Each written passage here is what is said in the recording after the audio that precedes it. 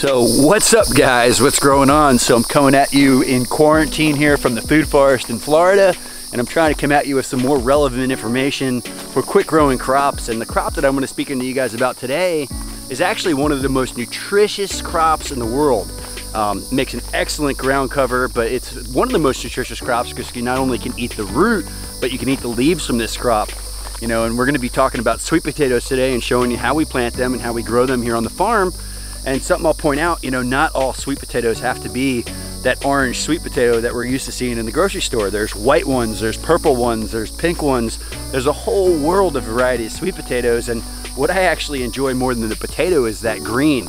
Um, harvesting those greens, cooking those greens, and just having those as a side all summer long. So even though sweet potatoes could take 90 to 110 days to produce, you know, good tubers and ready for harvest, during that time, after, once that ground cover establishes, you know, we're eating those greens for months on end before we actually get to the potatoes. Then we get that awesome potato harvest, you know, and then we have this crop that we could stick in crates and keep in our closet indoors and it'll last up to nine months inside the house. I've heard of some people even getting a year in the right environment. So um, you know, this is an excellent ground cover to protect the soil. It's all about shading the soil, so, you know, stopping those indicator species from coming in. And we're gonna be transitioning those crops, you know, around the farm. I haven't actually planted sweet potato slips in about two years here. Where I have out in the past has been out there in the market garden and it's about midday right now. We're getting done putting the slips out there and I'm gonna finish up over here in the food forest and um, right across from my house per se and the lighting over here isn't quite as harsh so I'm going to show you guys how we plant them in this area over here um, and they just make a beautiful ground cover. Obviously, you get a sweet potato from them. Um, super delicious green, like I mentioned. They're super easy to grow. So I'm gonna show you guys some slips, show you how we do this. Hold tight. All right, so I'm kind of over here on the um, the east edge of the market garden. You can see the ground's really brown here below me. Um, our perennial peanut, our sunshine mimosas, our perennial ground covers are just starting to come back and that winter ground cover um, is just dying off. If that video hasn't dropped yet, it'll be out here really soon, but I made a video on my favorite wintertime cover crop down here in Florida and I've been really impressed with it over the last couple of years, especially as we get kind of this weather weirdness in the winter and it goes from hot to cold, hot to cold. Um, you know, it, we, we get that transition from where the, you know, the things have stopped being dormant and all of a sudden we get these weeds emerging. Um, so I've found this ground cover to work really great in the wintertime, but this video is about summertime sweet potatoes. So hold on. So you can see in this area, all the green coming back up is the perennial peanut. Like I said, that area we're transitioning from our winter cover crop to sweet potatoes, but some of the other cover crops I really like to use are beans, legumes. So in, in the summertime here, we plant a lot of this Puerto Rican black bean. Um, I also like to use cowpeas. So any type of nitrogen fixing bean legume type bean mixed in with that sweet potato is going to help to add some of that nitrogen back to the soil. But like I mentioned, you know, we transitioned the areas where we're growing sweet potatoes. So even though I didn't plant them last year, the year before that, when I did plant them, they were over here in the fig zone. We're not replanting that zone. We're going to kind of put them over here in the peach and the plum zone. Um, we've got three or four patches out here and we're going to do them up in the food forest by the house. So I'm going to show you those going in the ground. All right, so it is so dry and harsh right now out here. You can even see the clumping grasses. The fact Fakahatchee grass behind me is brown. We got some light rain last week. Some of the grasses around the driveway started to come back. And this section, the next section back there, we've just done sweet potato slips. And we're basically gonna water these one time um, before we actually kind of just set it and forget it in these areas. So we're doing a little bit of hand watering, getting these slips kind of established, hoping that we get a little bit of rain. If we do not get some rain, I'll probably stick an overhead sprinkler out here maybe every other day for a week or two just to get these slips kind of, you know, established and going. But I'm gonna show you what they look like. They're not so pretty when we get them anyways. All right, so I got my last two packs of sweet potatoes. We're getting ready to plant them over here in the food forest across my house. And something I forgot to mention was sweet potatoes definitely produce a lot better in full sun. So if I put them in the dappled light, they're gonna make leaves, but they're not gonna set as many tubers. Um, the best way to start these is definitely from slips. I've got some slips right here. I'm gonna show you what a slip looks like. And this is uh, Mr. Calvin, part of the uh, farm family. What varieties we got, bro? Got Beauregard and Georgia Jet here. Whoa, show us what a slip looks like. So a slip is basically like a cutting with roots. Let me see what one of those look like. Pull one up, take it apart for them. Let me see, Callie. Whoa, so here's two of them.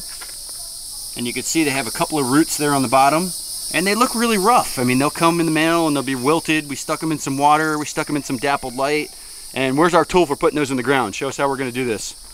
pretty easy here. Oh, yeah, this is the easiest part. These are probably one of the simplest crops to plant. You're gonna, like look at how we're doing this. You're gonna be like, that is silly easy, and it really is that easy. Whoa, what do you got there? What kind of special tool is that? Anything like this, break up a hole in the soil. So you can use a screwdriver, whatever it may be. I buy um, chainsaws, obviously landscaping tools, and these come with every uh, every tool we buy. So I like this because it has a T-handle. It just pushes down in the ground. We drop that slip down in there. Come on, let's pop some in the ground. So the idea here with these slips, you want to get them about 12 inches apart. Like I said, in some full sun, water them once they've been put in, and then literally just watch them grow. Beautiful ground cover, edible leaves. We know they have edible tubers. I get absolutely zero kickback from any type of sweet potato company. I don't care where you guys buy these. I believe these are from uh, taterman.com. I will tell you that some of the best sweet potato slips in the world come from Sandhill Preservation. Very old school, no computer. You have to send a check. These guys have like 200 heirloom varieties. And Mr. Calvin's over here popping some in the ground. So about 12 inches apart. He's literally just gonna punch a hole.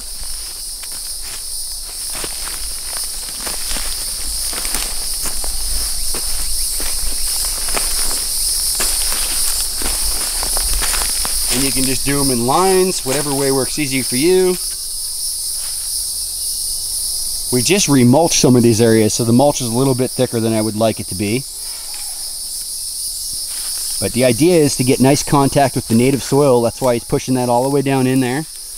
And you can see I'll be making a video here soon about the cassava. This is some from last year, but I've got a couple new varieties of cassava um, that we've been planting out. You can see this one has a red stem. This one has kind of a green stem. You can barely tell here probably from the camera.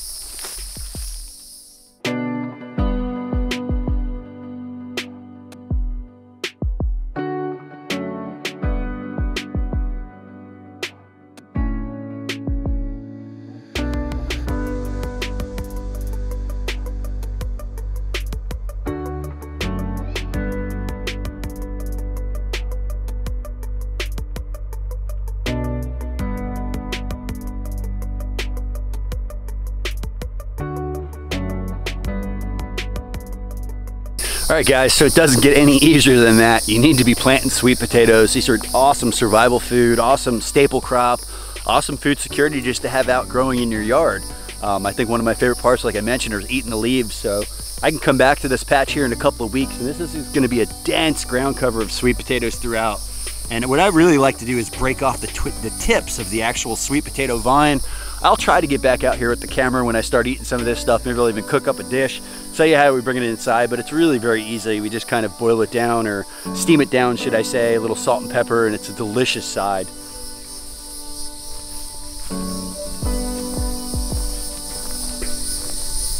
All right guys, so I hope you enjoyed this short, short video here on sweet potatoes. I hope it makes you think about growing some sweet potatoes if you have that ability. If you guys enjoyed this video, please consider supporting our Patreon um, you know, 50 cents, a dollar a month, whatever it may be. If you don't even have the money, just share the video. Get it out there. That is support in itself. We appreciate every single one of y'all. I'm gonna start trying to drop more videos here, especially during this whole kind of crazy pandemic thing. So we're hoping for less edited videos, more videos per week. So that's what counts. If you guys enjoyed this video, be sure to hit that like button. If you haven't subscribed yet, please go ahead and do so. And let's do that social, social distancing pound dirt. Are you ready, Calvin?